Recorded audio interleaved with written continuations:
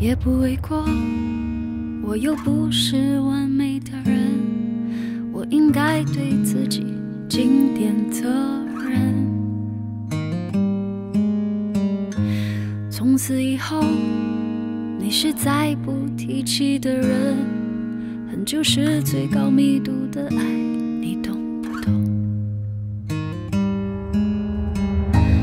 也算收获，后期我们那些纷争，两败俱伤，心里至少平衡。从此以后。就比陌生还要陌生，勉强原谅才是逃避的绝症。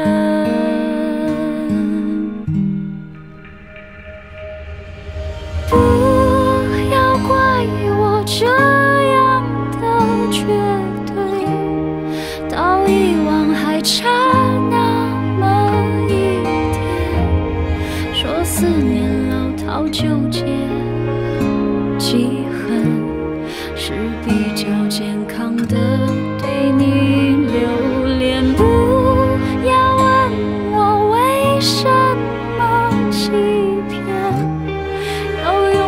别在这时间点，好聚好散太敷衍，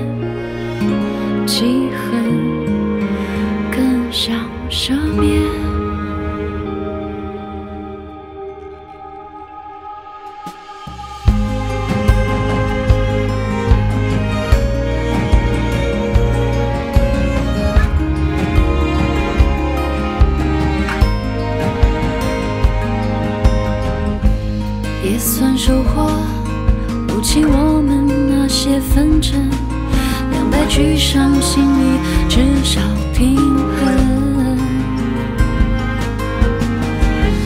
从此以后，就比陌生还要陌生，勉强原谅才是逃避的绝症。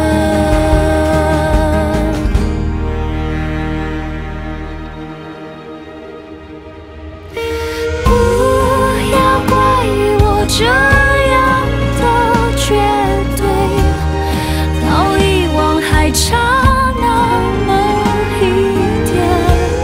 说思念老套，纠结记恨是比较健康的。